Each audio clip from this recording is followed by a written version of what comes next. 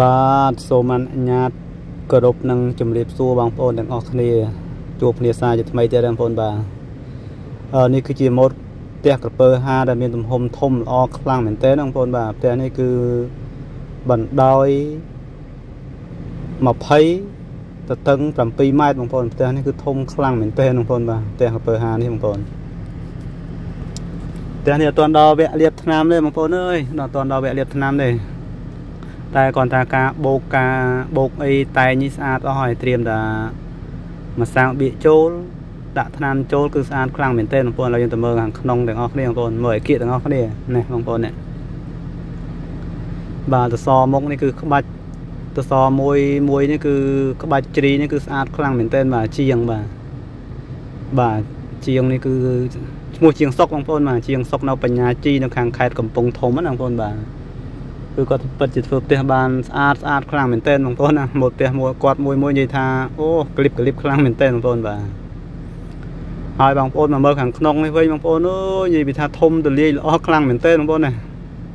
ខាងមុខនេះគឺគឺគាត់ទុកឡើងទលាយចាស់ដើម្បីទទួលភ្ញៀវតែម្ដងបងប្អូនបាទគាត់ធ្វើតែពីរបន្ទប់ឯងបងប្អូននេះបាទបន្ទប់ឆ្វេងមួយស្ដាំមួយនិងផ្ទះបាយខាងក្រោយមួយបងប្អូននេះធំល្អខ្លាំងមែនទែនបងប្អូននេះ បាទការ៉ូពណ៌សទៀតបងប្អូនអើយអេមស្រេនទៀតបងប្អូនណាបាទនេះគឺបន្ទប់ខាងស្ដាំបងប្អូននេះកញ្ញាបន្ទប់មិនធំទលាយអីប្រហែលបងប្អូនថាអាចប្រមមមកគ្រួសារតូចបងប្អូនណាបងប្អូននេះកញ្ញាគាត់សុកចិត្តទុកអឺខាងមុខនេះឲ្យធំទលាស់ល្អបងប្អូននេះបាទហើយផ្ទះបាយមួយខាងក្រៅទៀតបងប្អូនផ្ទះនេះគឺទំហំធំបងប្អូនបាទ 720គឺធំខ្លាំងមែនទែនបងប្អូនបាទហើយផ្ទះនេះបើសិនជាលាបថ្នាំហើយទេខ្ញុំធានាថាបងប្អូននឹងពេញចិត្តស្ដោកតែម្ដងបងប្អូនបាទផ្ទះកពើហាបងប្អូននេះស្អាតខ្លាំងបងប្អូនមើលនេះវ៉ាវ my god បន្ទប់ទឹកនៅខាងក្នុងស្រេចទៀតតែម្ដងបងប្អូន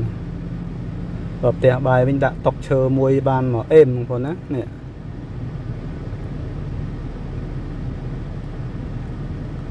បាទគឺស្អាតស្រស់ពិតជាស្រស់ស្អាតមែនទែនបងប្អូនបាទជាងសុកបាទឈ្មោះមេជាងធំគឺជាងសុកនៅខាងបញ្ញាជីខេត្តកំពង់ធំបងប្អូនបាទគឺគាត់ធ្វើម៉ូតផ្ទះមួយមួយនិយាយពីថាស្អាតបាទស្អាតបងប្អូនបាទមានតម្រូវការអាចតាក់ទងគាត់បានបងប្អូនបាទអាចតាក់ទងគាត់តាមរយៈខ្ញុំបាទបានបាទ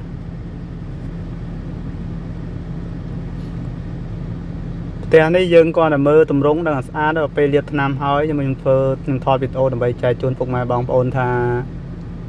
តើមុនពេលលាបថ្នាំនិងក្រោយពេលលាបថ្នាំវាស្អាតខុសនេះប៉ុណ្ណាបងប្អូនណាចាំមើលលាបថ្នាំខ្ញុំធ្វើវីដេអូជូនបងប្អូនបងប្អូនឥឡូវយើងមើលផ្នែកខាងក្រោយទាំងអស់គ្នាបងប្អូនឃើញឡងវែងស្បឹងតែម្ដងបងប្អូនបាទនេះដើម្បីថ្នាំសសរមួយមួយគឺធំធំល្អណាបងប្អូនបាទគឺស្អាតខ្លាំងមែនទែន បាទនិយាយពីទេសភាពជុំវិញនេះវិញបងប្អូនណានិយាយពីថាល្អខ្លាំងមែនទែនបងប្អូនបាទខ្យល់អាកាសខាងក្រោយនេះគឺស្រែប្រាំងតែម្ដងបងប្អូនបាទស្រែប្រាំងខែស្រូវនិយាយថាអូទេសភាពស្អាតខ្លាំងមែនទែនបងប្អូននេះគឺយើងមើលពីចំហៀងខាងក្រោយខាងស្ដាំដៃខ្ញុំបងប្អូនបាទចំហៀងខាងក្រោយខាងស្ដាំដៃខ្ញុំបាទថ្នាំកបាត់ថ្នាំអីបងប្អូនគឺមើលទៅនិយាយថាមមមតែម្ដងបងប្អូនបាទនេះ នេះផ្នែកខាងក្រោយបងប្អូននេះហើយខាងក្រោយនេះគឺទស្សនវិជ្ជាស្រែប្រាំងបងប្អូនឃើញទេស្អាតខ្លាំងមែនទែនបងប្អូនបាទនេះខាងក្រោយពេញបងប្អូនបាទខាងក្រោយពេញមកចន្លោះមកចន្លោះមក3ម៉ែត្រកន្លះបងប្អូនបាទសរុបចូលគ្នាគឺសាច់ពេញ7ម៉ែត្របងប្អូនទៅតឹងណាមានដំណាំមានកាយពាត់ជំវិញមានដើមខ្នោដើមទៀបបារាំងអីដែរបងប្អូនបាទនេះខ្ញុំថតត្រួសត្រួសជូនបងប្អូនបងប្អូនណាថតត្រួសត្រួសដើម្បីចែកជូនបងប្អូនបាទ ដែលបងប្អូនដែលស្រឡាញ់ម៉ូតផ្ទះកពើហាអាចយកគំរូតាមបងប្អូនមើលជ្រីបងប្អូនមើលជ្រីតាមប្អូនអីនិយាយពីថាក្បាច់ស្អាតស្អាតខ្លាំងមែនទែនបងប្អូននេះឃើញនេះបាទជ្រីនេះគឺស្អាតខ្លាំងបងប្អូនណា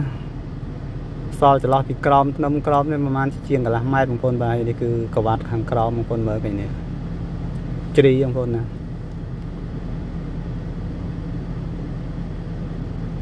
ហើយបងប្អូនដែលអត់បានចុច Subscribe បងប្អូនបាទសូមជួយចុច Subscribe ដាក់រូបបណ្ដឹងដើម្បីទទួលបានវីដេអូថ្មីថ្មីមុនគេបងប្អូនបាទតាក់ទងនឹងម៉ូតផ្ទះស្អាតស្អាតក៏ដូចជាម៉ូតថ្នាំលាបថាផ្ទះហ្នឹងតើយើងគួរដាក់ថ្នាំលាបអ្វីស្អាត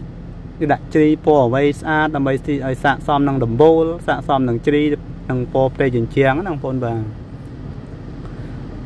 គឺខ្ញុំចែកចម្លែកបងប្អូនកុំឲ្យថាបបាំងធ្វើផ្ទះហើយមិនដឹងថាដាក់ពោអីស្អាតទេបងប្អូនអាចមើលក្នុង channel ខ្ញុំបានបានអញ្ចឹងបងប្អូនបាទនេះបងប្អូនស្រែប្រាំងស្រូវចិត្តទុំទៀតបងប្អូនបាទស្រូវគឺចាប់ផ្ដើមចិត្តទុំទៀតហើយស្រូវនេះគឺខ្ញុំថតចំហៀងខាងឆ្វេងម្ដងបងប្អូនបាទគឺខ្ញុំដើរកន្លងមកជុំតែម្ដងបងប្អូនបាទដើម្បីឲ្យបងប្អូនមើល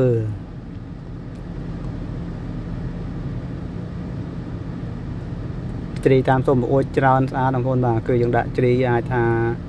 តាមតាមឆ្នោតតូចអាចដាក់រំលេចពណ៌សអីនឹងស្អាតខ្លាំងបងប្អូនបាទម៉ូតធ្វើម៉ូតបងអួយធ្វើដូចស្ទាយបារាំងបងប្អូនបាទស្ទាយម៉ូតអាគារបារាំងសម័យអាណានិគមណាបងប្អូនបាទហ្